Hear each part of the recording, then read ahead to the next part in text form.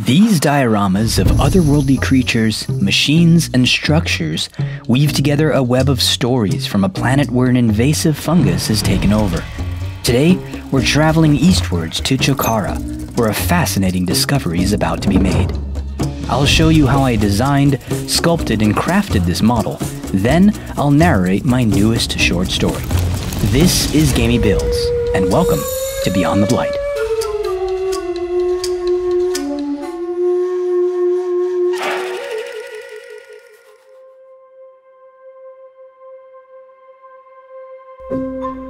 While intricate kit bashing projects and fiddly structure designs are fun, they're also exhausting.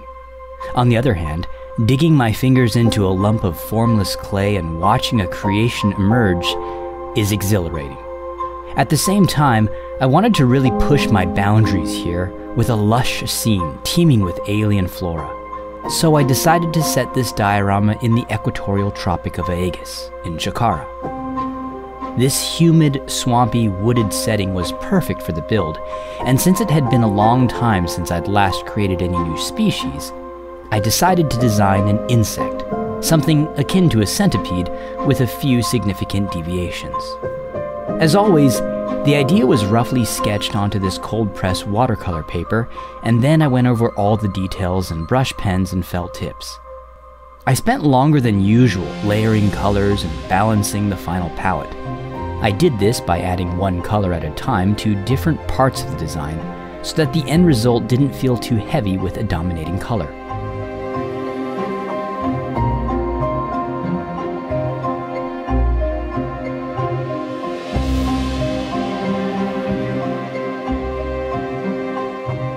My heart wasn't set on this exact palette, of course, as I like to experiment and make mistakes here rather than on the actual build. While I was mostly happy with this concept, it felt a little bare without some sort of Aegisian tech, but I decided to come back to it later.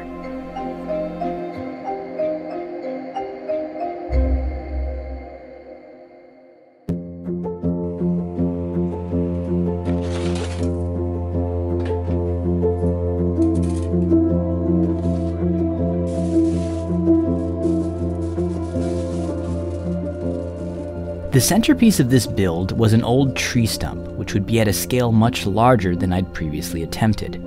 I started with aluminum foil sculpted into a rough shape, then cut some short lengths of 1mm armature wire.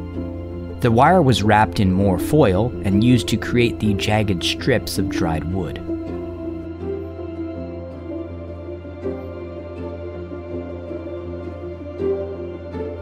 After laying out some parchment paper, I got out my bin of polymer clay. For the tree stump, I used Sargent brand polymer clay, to which you can find a link in the video's description. After having sat untouched in its bin for months, the clay was quite hard and crumbly, but a few quick run-throughs on the roller warmed it right up, making it malleable. To achieve a rough, bark-like texture, I scored these strips of polymer clay, then tore, rather than cut them, lengthwise. I then gently press the strips onto the foil armature, careful not to rub away the texture. This is the fourth time I've attempted wood grain texture in one of my Beyond the Blight builds, but the first time using this particular technique, and I think the results turned out the best. For this giant knothole, I ran a thick rope of clay through the clay roller, which gave the edges this cracked effect. I then layered several strips of the clay atop one another, looped it into a circle, and attached. I then came back with dental tools, files, and an assortment of other implements to carve in details like cracks, scrapes, and chips. For the branches, I wound a bundle of armature wire together, then peeled away the offshoots one stem at a time. The branches were then covered in torn strips of clay as before. Holes were added to the stump, and the branches were attached. Finally, some tiny clay loops helped fuse it all together. Texture was then added with foil and tools to create a uniform look. Next, tiny bark chips were stuck on to give an aged appearance. After a quick bake in the oven, I airbrushed everything with a primer coat of black. I did this now because it was a lot easier painting the inside of the stump before it was attached to the base.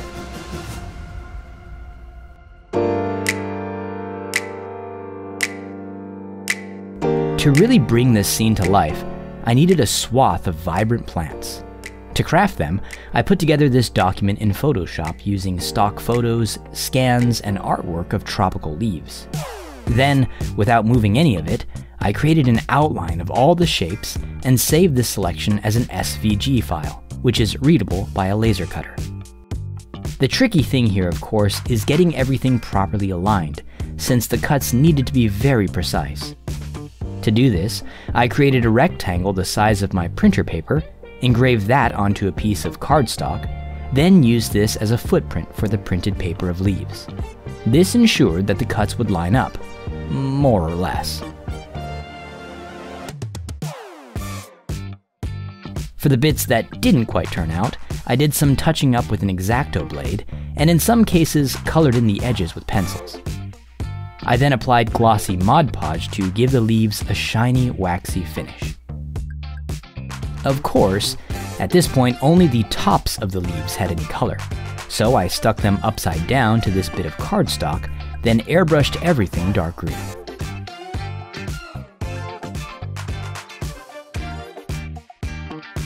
Once all the foliage was painted and bent to make it look more leaf-like, I added some stems and was satisfied with the results.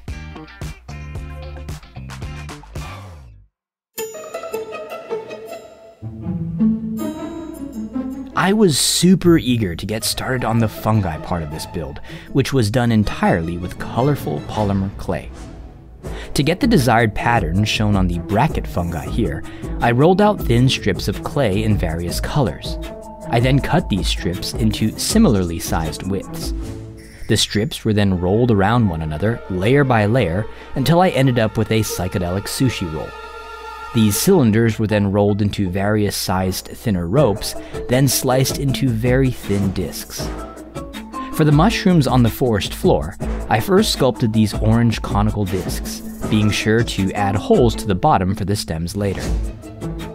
To clean up the fingerprints, I also brushed on some isopropyl alcohol. I then baked the caps in the oven, added armature wire for the stem's bases, then a thin disc of clay for the cap's undersides. With these sides smoothed out and textured, I then wound a bit of foil around the wire, then a strip of smoothed out clay. Once attached to the underside with a ball stylus, I added the partial veil with another thin strip of clay.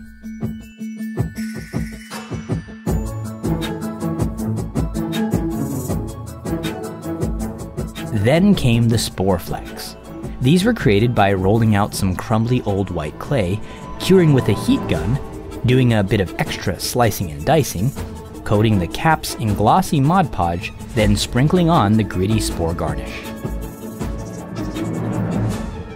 Finally, a touch of rust-colored weathering powder gave a bit more dimension to the final appearance.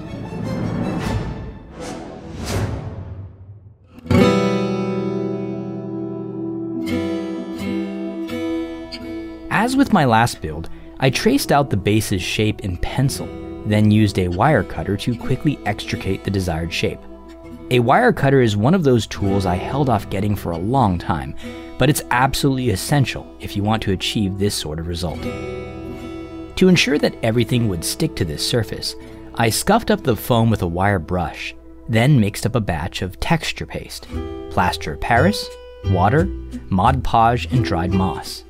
After smearing this texture onto the base and being overcome with a sudden craving for dill cream cheese spread, I attached the stump, then refined the seams with a brush and some water.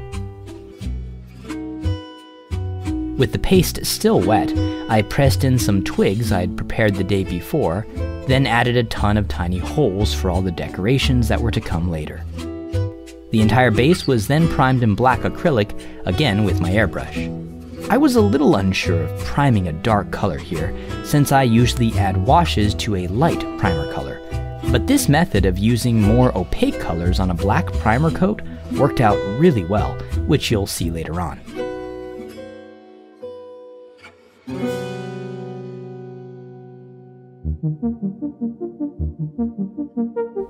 To create a more obvious connection to the rest of my world, I knew I needed some sort of Aegisian technology.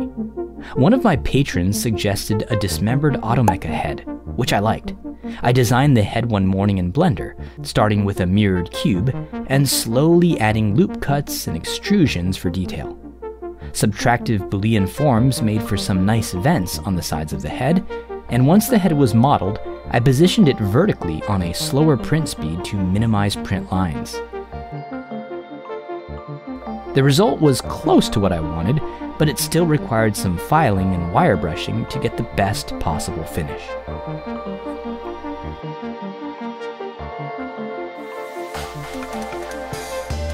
I usually save the most challenging part of the build for last, and with this project, it was definitely the enormous multi-legged centipede.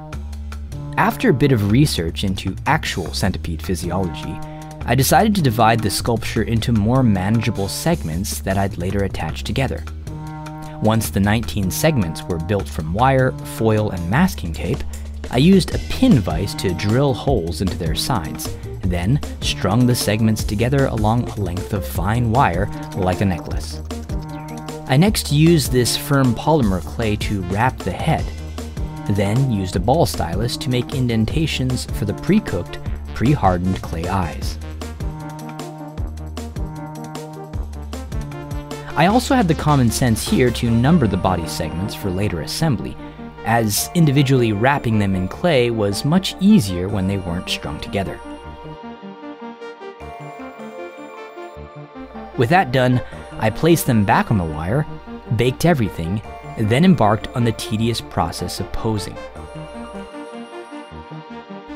After applying some masking tape to the bottom to keep the segments in place, I added these segmented clay legs, partially cured in place with my heat gun, then carefully posed the appendages. Eventually, I was able to sculpt several sets of leg at a time before curing, but it was a painstaking process nonetheless. Finally, to lock it all in place, I added some two-part epoxy putty between each of the body segments. Silicone sculpting tools and a bit of water made for a relatively smooth process here. I then went back to add details to the head like these mandibles and forcipules, then cured with a heat gun. I then repeated the epoxy step on each of the appendage joints. And once that was dry and everything was set, I added the chitinous scales with polymer clay.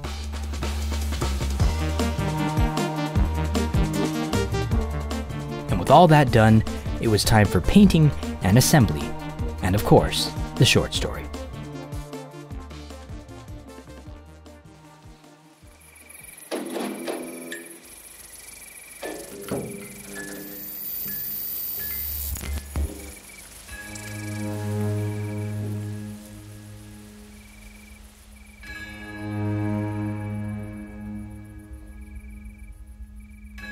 Turning to the next slide on your console display, you will note the brightly colored Chokaran centipede, an equatorial species found solely in the region with which it shares its nomenclature. The professor paused as a predictable wave of gasps washed over the audience. A faint smirk tugged at the corner of his thin lips before he cleared his voice and continued. As you can plainly see, this species shares many characteristics with a common arthropod, a single pair of legs per body segment, venom-laden forcipules, a pair of forward-facing antennae, and mandibles. Of course, the obvious exception to these norms is its extraordinary size. With a flick of his forearm, the lecturer's wrist stripe triggered the next slide on the students' desk consoles. On their screens, an armed soldier lay beside the dead specimen of the enormous insect, his smile betrayed by the unsettled sidelong glance he cast upon the creature, which was nearly twice his length. There are other significant deviations seen in this species, such as the elongated legs attached to the segments nearest the creature's head, along with two rows of conspicuously large eyes, features absent in other species. The professor paused here to sip from the steaming mug atop his desk, then glanced up at his audience, noting with some irritation a raised hand. He frowned, ignored it, and continued with his speech. Research on the Chokaran centipede has proven difficult. The regions of Chokara it is typically found in are quite inhospitable to humans, making observation and study impractical. In his audience, the lone hand jutting from the sea of heads began to wave impatiently. And of course, any entomologist willing to venture into these territories must take precautions against the spore clouds. And yes, Mr. Kosh, what is your question? Like ripples in a pond, heads began turning to face the student. What of their sterility?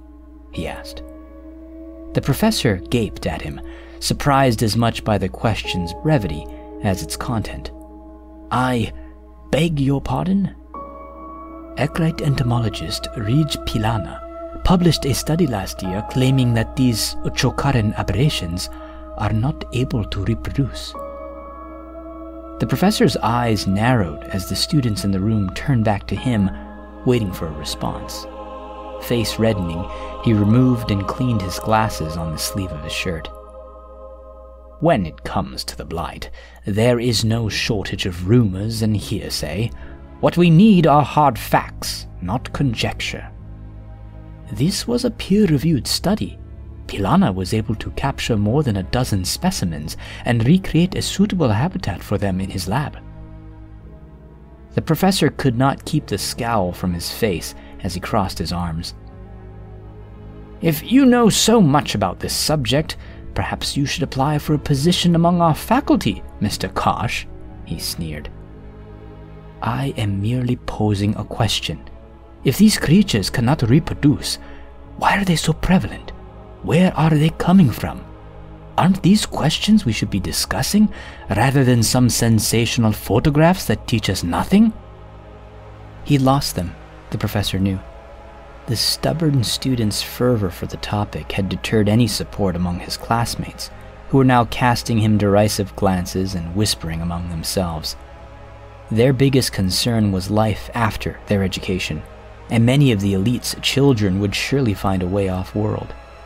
Furthering their studies of the critters under their feet was the farthest thing from their minds. Sensing this, the professor seized the opportunity to squelch the troubling topic. Regardless of your heritage, Mr. Kosh, we are Koseki. This university was founded on the principles of the original royals of the planet, and we pay little attention to the primitive research of infidel Ekrite enclaves. The insistence of the Korseki to make everything political will be their downfall. Mark my words, the young student shouted, rising from his seat. He stared frantically around the room, but found no sympathy in the faces there. I think, Mr. Kosh, said the professor in a low, cold tone, that it is time for you to leave.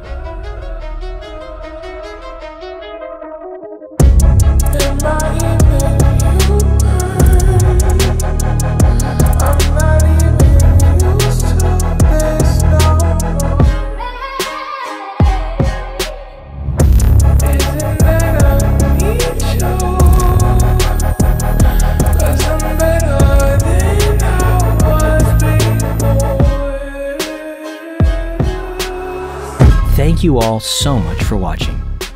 If you'd like to help support me and my work, consider checking out gameyybuilds.com for tons of Beyond the Blight merch, including these brand new back printed Jogari shirts.